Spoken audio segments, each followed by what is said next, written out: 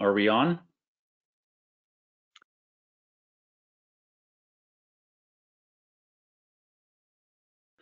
Um, good morning, good good afternoon. Um, my name is John Skibiak. I'm the director of the Reproductive Health Supplies Coalition, and I'd like to to welcome everyone uh, on this call to uh, this webinar on the uh, CHAI RHSC Family Planning Market Report. Um, I'm joined this morning by by four colleagues um, join not physically. I think we're calling from all around the world. Um, but with me uh, will be uh, Martin Smith from FP 2020, um, Marie Chantal Lepine from, from CHAI, um, and we also have Vanessa Hung from CHAI, uh, who will be walking us through uh, the report uh, and, and the findings of, of the report. Um, this report that we'll be reviewing this morning um, is, is actually the fifth uh, edition uh, of the, the market report. And, and really over the course of, of the last five years, we've, we've really seen this report become a, a critical component um, in the, the toolbox that we have for really understanding the the evolving reproductive health uh, and family planning supplies landscape. Um, each of the tools in that box, uh, be it the gap costed gap analysis, um, the RHI, recent ecosystem report, each sort of look at the landscape from a slightly different perspective with different data sets, look at different uh, groupings of countries, but together they they help us form uh, a more accurate sense of current market trends uh, and what we as a as a community need to be doing uh, over the course of of of the coming years and and, and particularly as we're entering the the new post 2020 um, decade. Um, I'll leave it to to Vanessa to to provide the details um, of of the report. Uh, but needless to say, I'm I'm I'm happy as I I read it to see that there's really a lot of alignment uh, between the data that's emerging from from this report uh, and much of the work that that we've been uh, producing within the the context of the Reproductive Health Supplies Coalition. Um, I'm I'm you know happy to see uh, the references and the acknowledgement of the shifting uh, financial contributions to the supplies landscape and and particularly uh, uncertainty over the relative contribution of of, of donor funding uh, to reproductive health uh, supply needs uh, looking looking forward and I think the the results of of this analysis um, uh, makes that clear. Um, but I think this also, one of the things that I found really interesting about this report um, is that it also showed really the um, the important contextual role of of, of countries um, in determining many of the many of the patterns that that we see here. Um, donor support may be declining uh, but for those countries that depend on donor support now, and I think in our gap analysis, cost of gap analysis, um, we identify those countries as, as the low income countries. Donors play an absolutely indispensable role, and those countries remain uh, highly dependent on donor support and will likely do so uh, for much of the coming decade. And so, although you know, we talk a lot about the growing role of domestic resource mobilization and, and out-of-pocket expenditures. Uh, that doesn't diminish the critical role played by the donor community. And I think this report uh, makes that very clear in its in its analysis. So I, I, really would like to congratulate the authors of the report in, in doing that. Um, I think the report also uh, reaffirms one of the, the key findings of the, the costed gap analysis. Uh, the trends are often country specific. We like to think of of the world as a large grouping, whether it's 69 FP 2020 countries or the 135 low middle income countries. But really, uh, the data that we see often depends in large part on certain subgroupings of countries and often individual countries. Um, and I think this comes through very clearly in the report as well when we see that the, the 10 largest markets, for example, account for over 50% um, of the um, of the, the total market. um, so, uh, you know, I think we have really um, an interesting discussion ahead of us, and I'd like to to to move on um, just so that people are are uh, aware of of the way this call will be uh, structured. Uh, all of us are hearing this call right now through the GoToWebinar platform, which has a cap uh, of about 100 people. I, I, I hear from my colleagues we have about 56 participants on this call right now, so it doesn't look as though we're going to uh, need to move over to another platform to take the the um, the the spillover. I think we had something like 150 people registered for the call, so we were preparing for that. Uh, should we, over the course of the next few minutes, discover that there is a, a huge upsurge in, in numbers, we will send a message out to um, uh, send a message out to everyone who's registered for the call, letting them know where to go to to, to join in.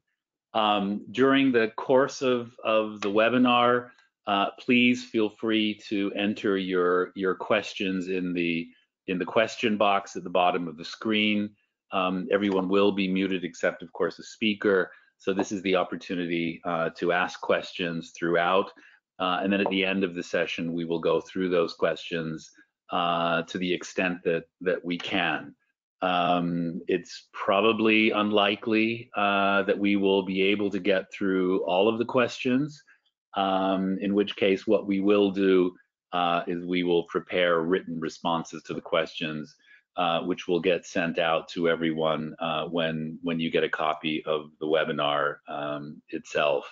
Uh, and these will be made available uh, both as they go out and also on on our website and, and others as well.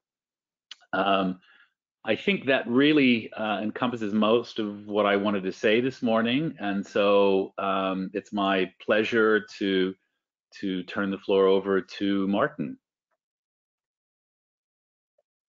Thanks very much indeed, John, uh, to RHSC, to our colleagues at CHAI uh, for the excellent critical uh, annual analysis that's contained within the, uh, the FP market uh, report and um, appreciate the opportunity for me to just give you three quick slides, three quick uh, elements from FP 2020's perspective, some context in terms of the progress that's being made in the 69 countries uh, that you see on the screen right now. Then I'll pivot to talking about financing specifically, some numbers around many of the, the key points that John was just making around donor and domestic uh, financing. And then thirdly, I'll briefly touch on, on the post-2020 FP movement. We'll have more on that in our Q&A, I'm sure. So here on the slide, we have uh, summary data from FP 2020's annual progress report from November of 2019. Uh, from our data at the midpoint of, uh, of 2019, there were 53 million additional users of modern contraceptives in the 69 FP 2020 focus countries compared to our baseline in July of 2012. That's 9 million more women and adolescent girls using a modern method compared to a year previously in July 2018. Of course, this is short of the pace that's needed to reach the ambitious 120 million additional users by 2020, but there are significant signs of progress across many countries and many of the indicators, and the 120 million goal remains still a critical benchmark that we will achieve on the path to achieving the Sustainable Development Goals uh, by 2030. Of course, this growth in additional users happens due to population growth within the 69 FP 2020 countries and increases in contraceptive prevalence rates, and we're happy to report that nine countries are on track to achieve their MCPR goals that they established in 2012, and another 13 of those countries are within a couple of uh, five percentage points uh, from achieving their goals. So with a bit more acceleration, several are within range of achieving them. In terms of method mix, uh, we see 32 countries, 32 of the 69 countries implants have assumed a substantially greater proportion of modern use uh, across the last seven years, particularly in the last year. And injectables have grown as a proportion of the method mix in 13 countries, with significant increases seen in self-injection in several FP 2020 countries. And as I move from my first slide to my second slide, uh, I'm just going to talk about this 1.5 uh, billion dollars that you see and what this represents. So in terms of uh, bilateral uh, funding for family planning, we really had a watershed mark in terms of growth in bilateral disbursements in the year 2018. 1.5 billion uh, dollars was dispersed, and as you can see from the graph here, this was the highest level uh, since the London summit in 2012, and seven donors increased their funding in the fiscal year 2018. Those donors being Canada, Denmark, Germany, the Netherlands, Norway, the UK, and the US. And while the rise in funding from the United States is largely due to the timing of disbursements, because as I think we all know, allocations for family planning from the US have remained essentially flat um, of recent years. The other increases uh, from the other donors do reflect the impact in many ways of the 2017 Family Planning Summit and the renewed commitments from several donors. Moving swiftly from the continued importance of, of donor financing, and uh, I'm just going to say one other thing about financing um, before I get to this post-2020 slide. Apologies for, for, for that and that is the, the importance of donor financing, of course, but as John said, the continued importance of an emphasis on domestic financing for family planning. And our visibility around domestic expenditures uh, is improving. We published for 31 countries in November 2018. We published domestic expenditure data for 37 countries in a report of November 2019. And we're having significantly increased visibility, I think, on expenditures overall we can report that 18 of the 41 countries that had made domestic financing commitments to FP 2020 and who reported are on, on track to achieve uh, those commitments, while the further 17 have work still to do and six um, have yet to report. And now we can move to my final slide, and I hope I'm I'm keeping to time. Um, and this is about the uh, the post 2020 family planning movement. So extensive feedback from from you, from our community, was used to refine the vision, the focus areas, and the guiding principles during the course of last year, 2019. And I hope you can see yourselves and your contributions in this vision framework. The vision working together for a future where all women and adolescent girls everywhere have the freedom and ability to make their own informed decisions about using modern contraception and whether, when, and how many children to have, lead healthy lives, and participate as equals in society and its development. So we have our our vision framework now, and the business of 2020 is going to be about operationalizing that vision framework, the architecture that's needed to support the achievement of that vision. I look forward to a bit more engagement with you uh, during the Q&A session at the end of this webinar, uh, particularly on, on post 2020. And with that, I believe that was five minutes. Uh, and I would uh, now very much like to introduce Mary Chantal, Special Advisor at CHAI, to take us through the next section of our webinar. Over to you, Mary Chantal. Thank you very much, Martin. We are celebrating the fifth anniversary of the publication of uh, the market report this year, so we're very, very proud to be part of such a, a unique initiative as I work across other areas. I can tell you I've not seen another such example of data exchange and collaboration manufacturers, and stakeholders alike. This is truly unique to the research, and, and we of that. I want to thank, obviously, our donors manufacturers for putting your trust in us and sharing your data so we take extraordinary care and measures to protect the confidentiality of your data. We take this very, very seriously. Without you, this quality would not be possible. We thank again the donors and manufacturers, as well as procurers and all other stakeholders who, many of whom have been uh, listening to this webinar this morning. um, your input, your feedback, your contributions that make uh, what it is. Without you, we could not put forth analysis. According to RHS partner. Pardon me, I'm not sure if this is happening for anyone else, but Marie Chantal, you're breaking up a little bit. Is it possible for you to move closer to the mic? Yes? Does that It's work? Much better. It's much Much clearer. better. Okay. And to RHSC, our partner, we thank you for your continued support and really your contributions to the publication of the report. We also are pleased to acknowledge that we continue to increase our coverage and visibility with new manufacturers joining us in this initiative. 15 suppliers are now represented in this report. We started with 11 five years ago. Our aim is to further enhance visibility by continuing to Marie Chantal, you're you're still breaking up. It's Um, okay. Now it's I'm going I to don't know change what- the spot. okay.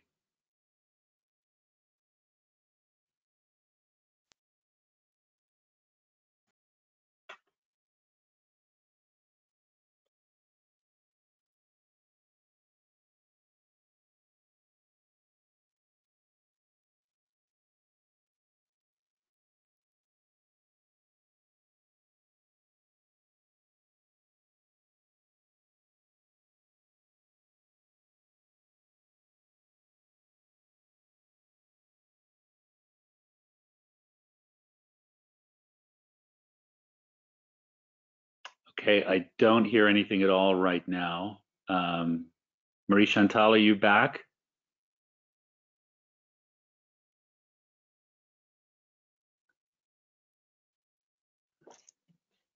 Um, Um, maybe in the meantime, uh, this is Vanessa. Um, I can re-summarize some of the points that um, we might have missed when she got cut off. that might be a good idea. Um, yeah, so just want to start off by saying um, that we greatly want to um, thank the suppliers who Hello, have. everyone. Hi, Uh, MC. sorry.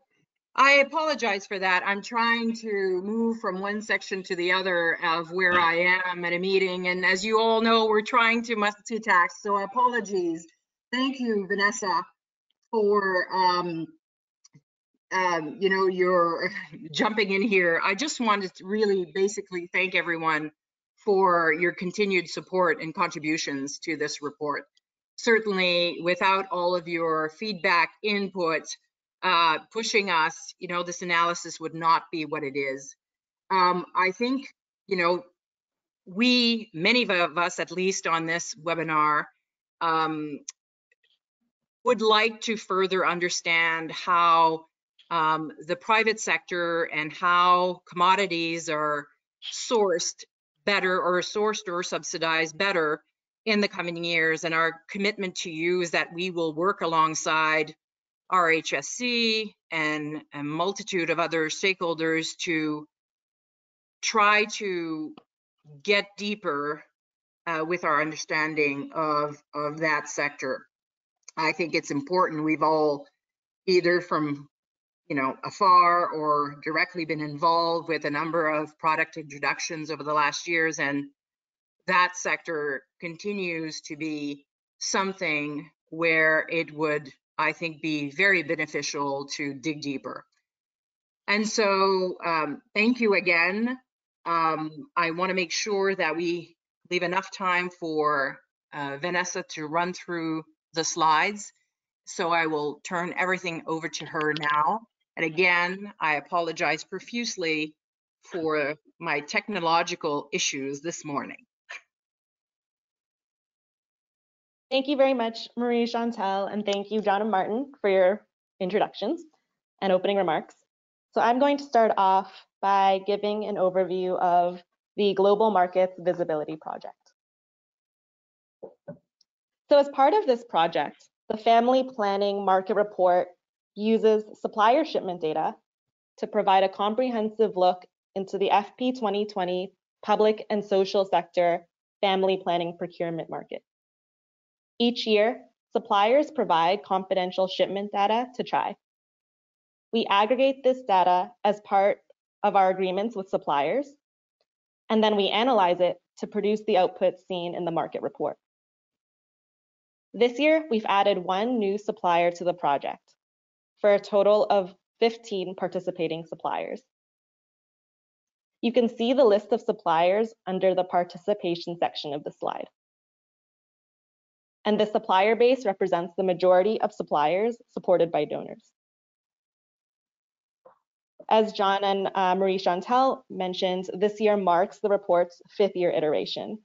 And since its first iteration in 2015, the report has been used as an important decision-making tool for the family planning community. It has since been a key resource for donors, suppliers, countries, and implementing partners to make procurement decisions and strategic investments. Now, I'll note what's new in this year's report, as well as give an overview of the report's section. This year's report features 2018 supplier shipment data. It also includes data from one new supplier. And finally, this report focuses on the latest five-year trend. In terms of the report structure, the report is composed of three sections. And the data sources for each section are highlighted in the slide. The first and main body of analyses is the supplier shipment analysis. And this draws on confidential supplier shipment data, which we aggregate. The second section consists of the donor spend analysis, and this is based on data from USAID and UNFPA, the two largest institutional procurers of family planning commodities. For USAID, we took data directly from the USAID Contraceptives and Condoms Shipment Reports, a publicly available data source. For UNFPA, we get the data directly from its procurement branch. And the last section of the report includes a discussion of key trends and themes from CHAI's discussions with a number of suppliers, donors, and partners.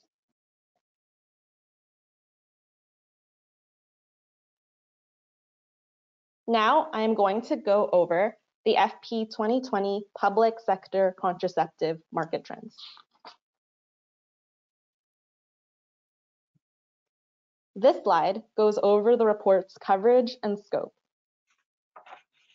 The scope of the market report covers the 69 FP 2020 countries in the public sector only. For the report, we define public sector as Ministry of Health and Government, as well as institutional buyers, including UNFPA, USAID, and SMOs. We do not include the commercial sector. Regarding the social sector, I want to note that our market report counts the social sector, such as SMOs, as institutional procurement that is part of the public sector. And I want to make this distinction because the social sector is sometimes counted as the private sector in other forums since it may involve out-of-pocket fees. This report focuses on product-based modern methods only.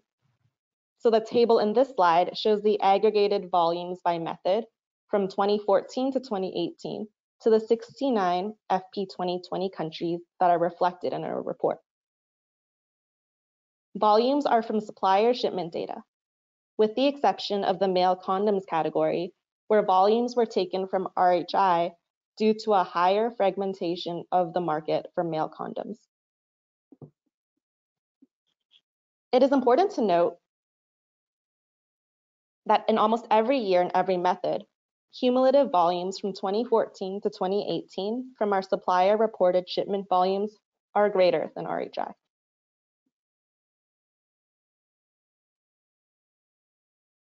Now, I will go into the main trends from the 2018 supplier shipment data. This slide shows the market value of contraceptives shipped to the FP 2020 public sector market. We calculated market value by multiplying shipment volumes from suppliers by prices from the UNFPA contraceptive price indicator. Overall, market value decreased from 293 million in 2014 to 226 million in 2018, representing a compounded annual growth rate of negative 6%. When we look at which methods drove this decline, from 2014 to 2018, the decline in market value was largely driven by a decrease in volumes of orals combined in progestin only, which you can see in the gray bar, and injectables, which you can see um, in the dark blue bar.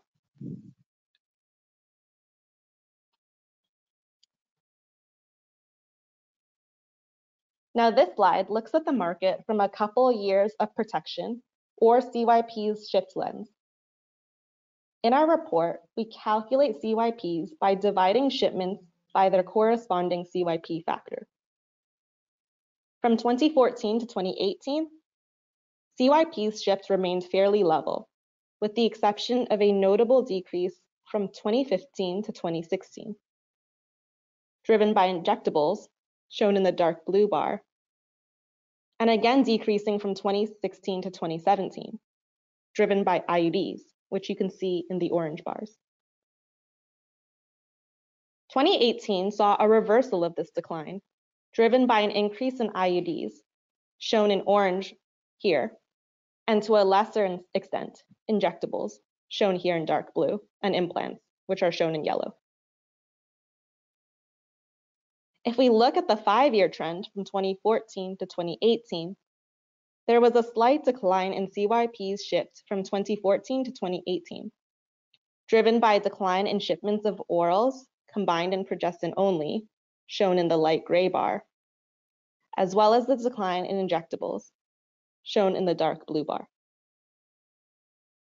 Orals combined and progestin only, shown in the light gray bar, declined by 22% annually from 2014 to 2018, while injectables in the dark blue bar declined by 9% annually from 2014 to 2018. These decreases were offset by an increase in CYP's shipped of implants, which you can see in yellow. Implants grew at a compounded annual growth rate of 12% from 2014 to 2018.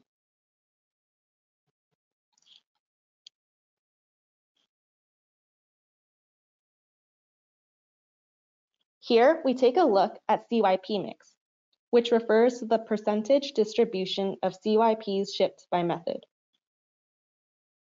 We see that in 2018, long-acting reversible contraceptives, or LARCs, which in our report includes IUDs and implants, still make up a larger proportion of the CYP mix compared to short-acting methods, which in our report consist of orals, male and female condoms, and injectables. In 2018, long-acting methods made up 67% of the CYP mix. This is a continuation of the trend of a shift towards longer-acting methods.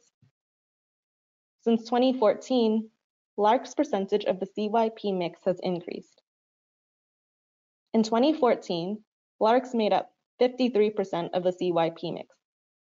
From 2016 to 2018, LARCs made up an average of 66% of the CYP mix.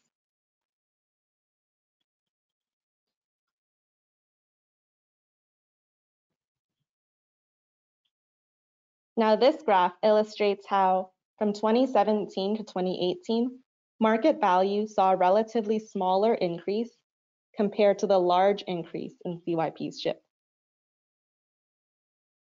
In earlier slides, we saw that the most pronounced trend in CYPs shipped in 2018 was a significant increase in CYPs shipped of IUDs. IUDs are by far the most cost-effective method covered in this report, at a cost per CYP of 7 cents in 2018. As a result, an increase in IUD volumes has a larger impact on the FP 2020 public sector market in terms of CYPs shipped, but a relatively lesser impact on the market in terms of value. We can see in this graph that even though CYPs shipped for the IUDs method increased significantly from 2017 to 2018, the market value for IUDs increased by a relatively lower amount.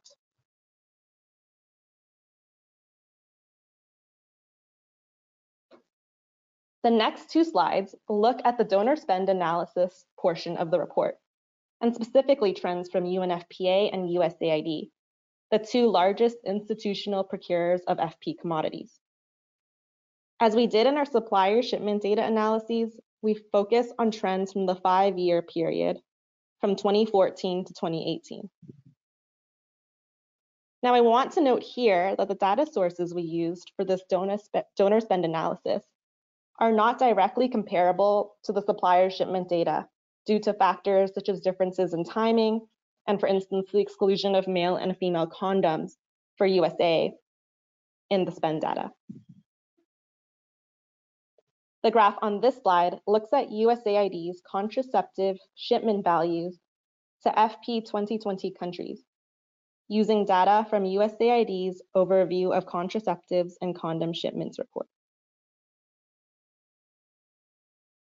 From 2017 to 2018, USAID spend to FP 2020 countries increased significantly at a fiscal 2017 to fiscal 2018 growth rate of 46%.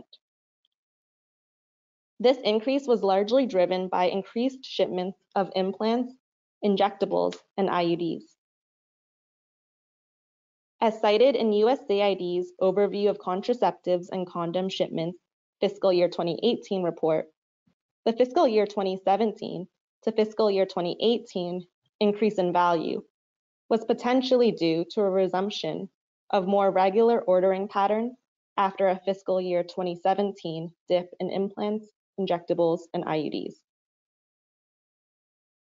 Now, if we look at the trend in spend over the past five years from fiscal year 2014 to fiscal year 2018, we see that USAID's spend to the FP 2020 countries in the past three years, from fiscal years 2016 to 2018, has been lower relative to spend in fiscal years 2014 and 2015. If we look at fiscal year 2015, spend increased from 58 million to 73 million. In comparison, spend from fiscal years 2016 to 2018 have been relatively lower than spend in fiscal years 2014 and 2015. Average spend from fiscal years 2016 to 2018 was 43 million.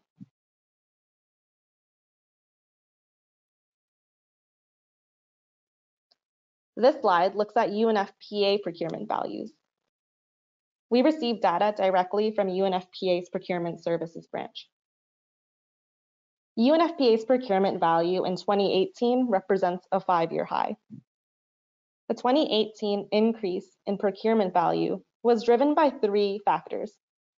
First, there was an increase in funds allocated by UNFPA for procurement of commodities. Second, an increase in third-party procurement played a role. And finally, rapid fund mobilization initiatives from UNFPA country offices to support procurement of commodities contributed to the increase in UNFPA procurement value seen in 2018. If we shift our attention to the five-year trend from 2014 to 2018, we can note that the value of contraceptives procured increased by 8% annually from 2014 to 2018. The procurement value remained relatively flat from 2014 to 2015, decreased in 2016, and it increased by about 25% in 2017 before increasing again by 51% in 2018. You'll notice that despite the fact that supplier shipment data is not directly comparable to our data sources for USAID and UNFPA spend, both USAID and UNFPA increased their spending on family planning products in 2018. And this is consistent with what we have seen this year in the supplier shipment data. Now, um, I'm going to share some key observations on these trends.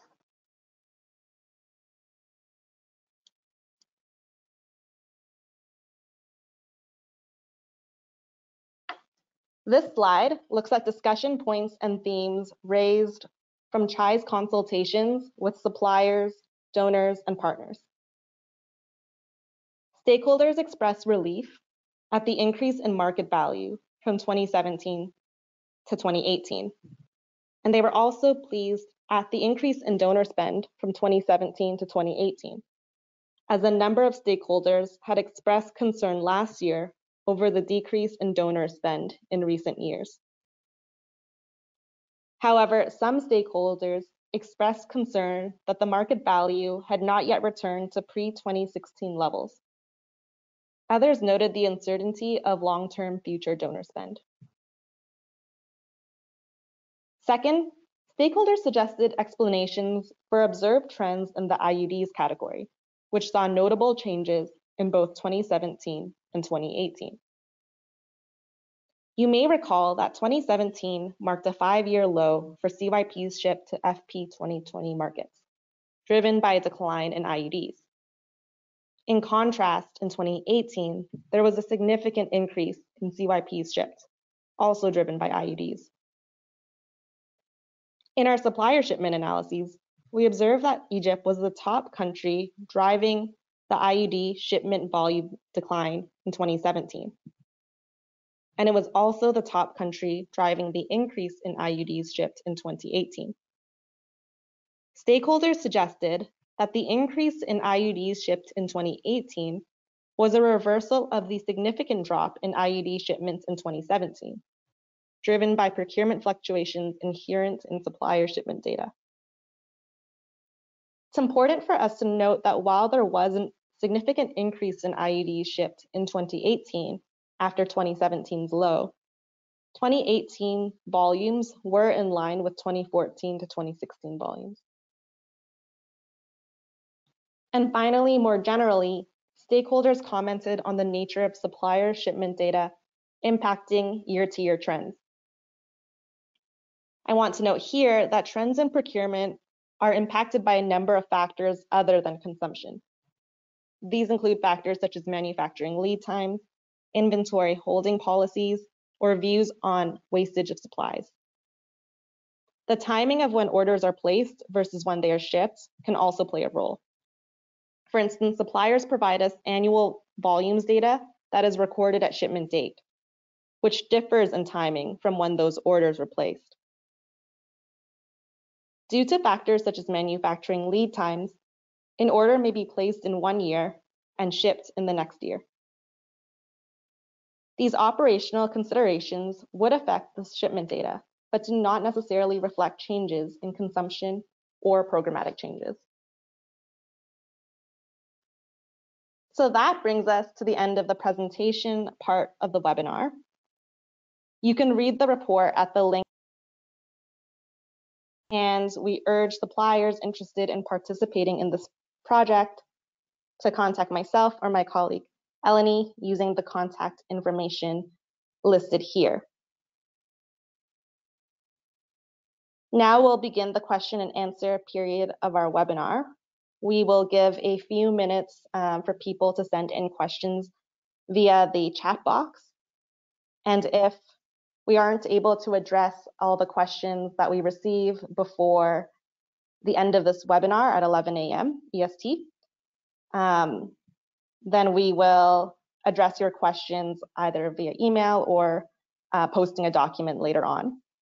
And if you have additional questions that you weren't able to ask within the duration of this webinar, again, please email them to um, me or my colleague Eleni at the emails posted above. So thank you very much and we'll open up the Q&A period.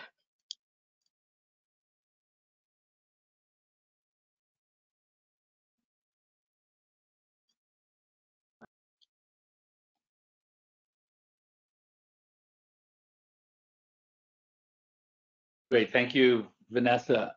um, for the questions, are are you or Eleni going to uh, read out the questions?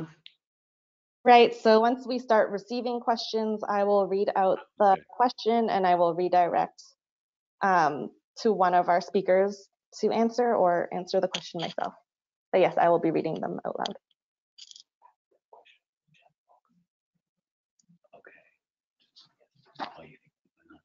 Okay, so the first question we have received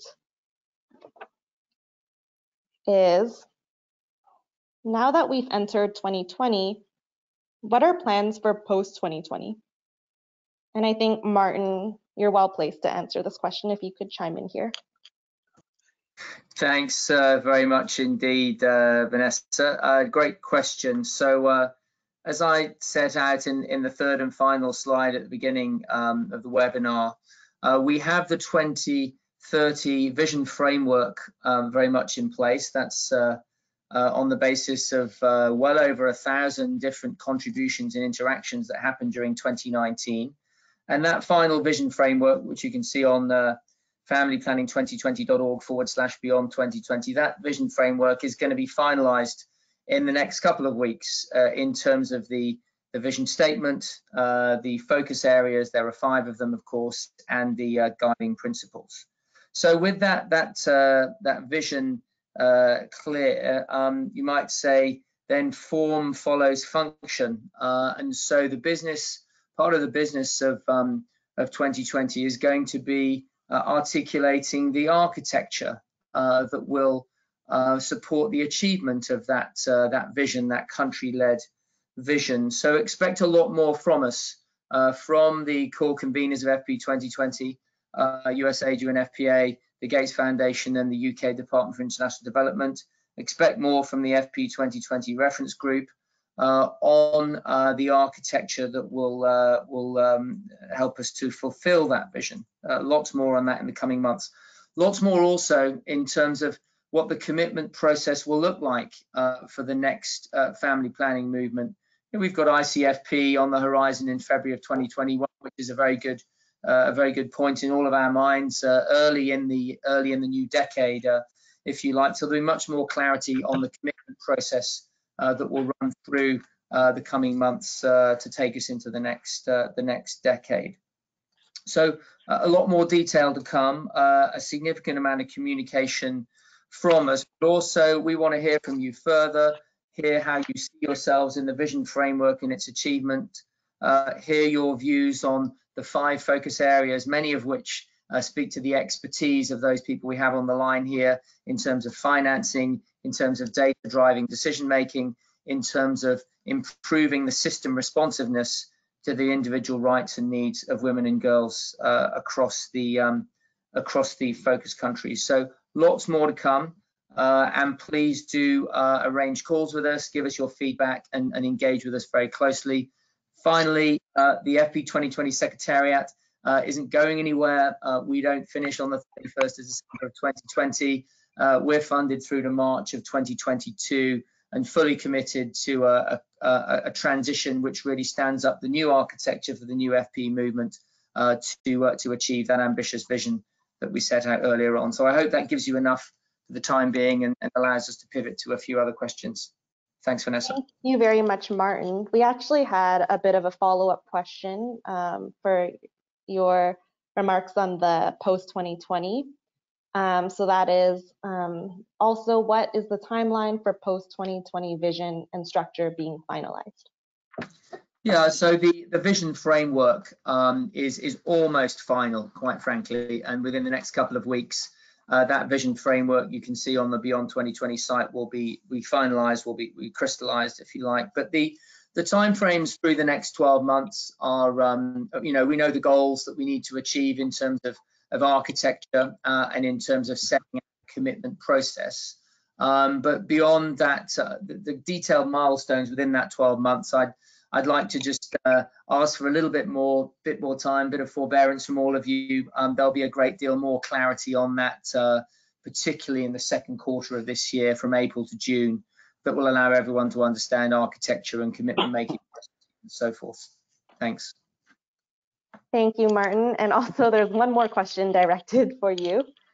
Um, the question is, Martin mentioned that donors had invested $1.5 billion over how many years? Yeah, great question. So that's an annual figure, and I'm sorry if my uh, my presentation didn't make that clear. That is uh, that is the, fiscal year for our bilateral donors of 2018, and you would have seen in that graph uh, the second slide that I presented, which took us through from 2012 to 2018, uh, the trend line, and you can see those are all annual figures. So that 1.5 billion is the highest. Uh, the second highest was 1.43 billion back in 2014. And you can see all of that information in detail on our website, uh, as well as a significant amount of analysis from our colleagues at the Kaiser Family Foundation uh, on the uh, donor trends that lie within that 1.5 billion annualized figure for 2018. Thanks. Thank you, Martin. So we have another question here. To what extent are changes in market value attributed to changes in commodity prices? Thank you for this question, and it's an important point. So the prices we use to calculate the market value in our market report, um, we get from the contraceptive price indicator, which is published by UNFPA and which is a publicly available resource that shows uh, prices of UNFPA procurement. The reason that we do it in this way is to use a standardized pricing to calculate the market value.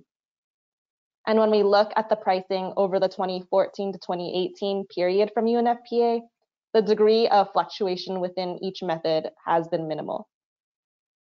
And as such, the changes in the value of the market over the 2014 to 2018 period, we can attribute mostly to fluctuations in shipment volumes. And you can actually reference this in the appendix of our report, uh, where we've listed commodity prices used for our market value calculation.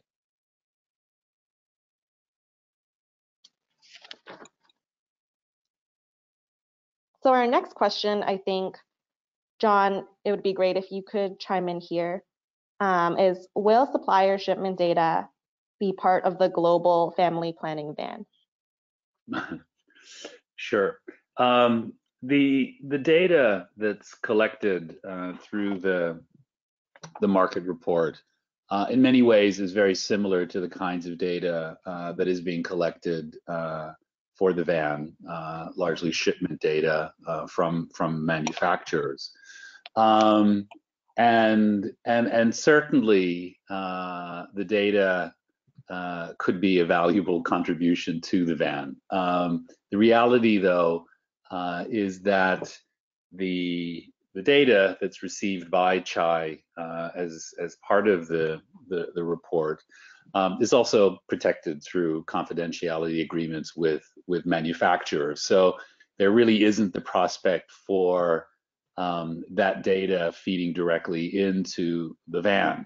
Uh, but as the VAN grows and there are more and more manufacturers uh, and others uh, feeding data into the VAN, um, it certainly uh, stands to reason that the VAN itself will become the vehicle and the data collection uh, conduit for reports such as this so that the need to maintain these ongoing one-on-one relationships and the confidential confidentiality agreements with each of those manufacturers will no longer be necessary. Uh, so that is a longer uh, a longer time frame. Uh, there are, as I mentioned, certainly many more manufacturers contributing data to the market report than there are to the VAN right now. Uh, but certainly, uh, it is a realistic prospect uh, that we could see the VAN becoming the data source for for this moving forward. Thank you, John. Um, the next question we have is, thanks very much for a very clear presentation. Has there been any discussion or interest in potentially including manufacturer data on their commercial markets in these countries in future reports? So it's a very good question. And there has certainly been a lot of interest in the community um, surrounding the private sector for family planning commodities. While we know there have been many efforts in the community to estimate the private sector, from a supplier shipment and procurement standpoint, which is what our supplier shipment data shows us, we have limited visibility on this. So as a community, going forward, we recognize that it will be very important for us to work to obtain this visibility as we know countries are transitioning towards other sources of funding. And perhaps, John, um, if you'd like to chime in on CGA projections surrounding the private sector or efforts for visibility there. Sure, sure. I mean, I think there there are a number of ways of um, of addressing this issue, and I, and I think there's you know on the one side there's kind of the data availability side, and there's also kind of the future for out-of-pocket expenditures. Um, I mean, in terms of data uh, availability, private out-of-pocket expenditures is is largely driven by by pills and there are a wide range of, of manufacturers and suppliers. So it's kind of difficult to, to track that um, in the same way the data uh, is being collected uh, for this. So there is a, a challenge inherent in that.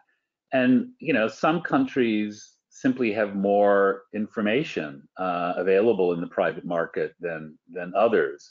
And there are companies out there that collect that information, uh, IQVIA, uh, Nielsen, and, and, and many are in our community are engaging with partners in that space to get um, uh, better better visibility into into the data.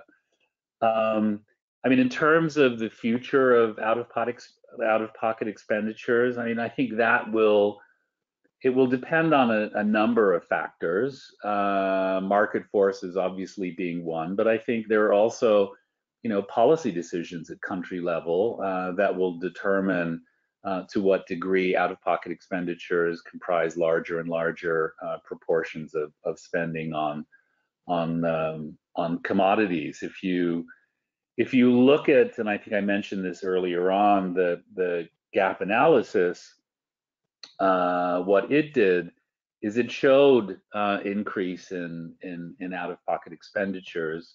Uh, but again, it was basing that really on on trend lines. Uh, it's not basing it on uh, an analysis of policy projections or whatever that we anticipate taking place in countries. So it really could um, it could vary. But I, I you know I think by and large, the feeling within the community, based on the data that we see here and, and others, is that you know the relative contribution of donors, particularly in light of growing demand for contraceptives overall, um, will probably decline uh, relative to the whole, and we will see increases in out-of-pocket expenditures.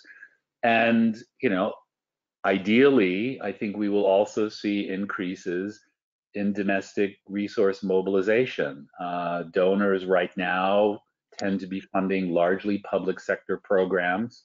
Uh, and the only way that public sector option will continue is if domestic resources are are funding it. So, you know, I think that will play a, a key role in in the overall mix moving forward.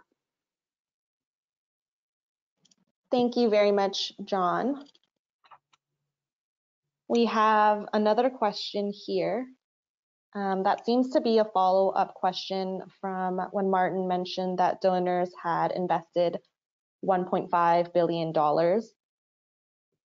So the question is, why the gap then among donor investment and market value? Uh, thank you very much for this question.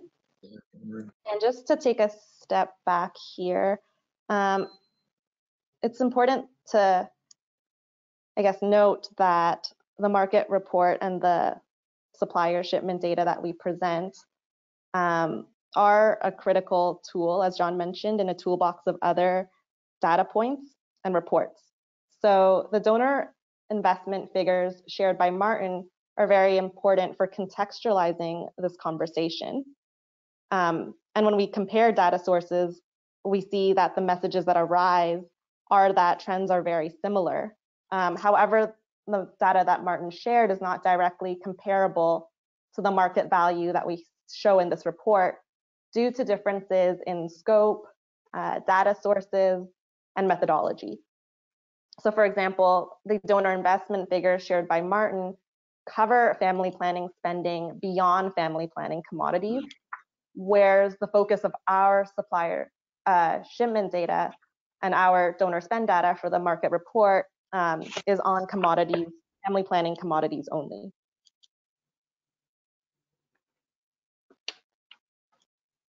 We have one more question before uh, we wrap up. Can you provide a brief overview of the methodology for this report? Yes, um, thank you for this question. So in terms of methodology, we collect confidential supplier shipment data on an annual basis from our suppliers. And we include shipment volumes to FP 2020 countries only when we analyze the data, as well as shipments to non-FP 2020 countries where we can reasonably assume that the final destination for those shipments is an FP 2020 countries. And we validate this assumption with suppliers. To get to market value, we take the volumes and multiply them by prices that we get from UNFPA's publicly available contraceptive price indicator.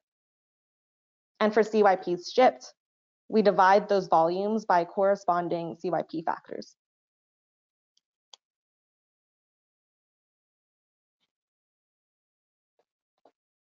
So I think that's time for this market report webinar, so we can wrap up.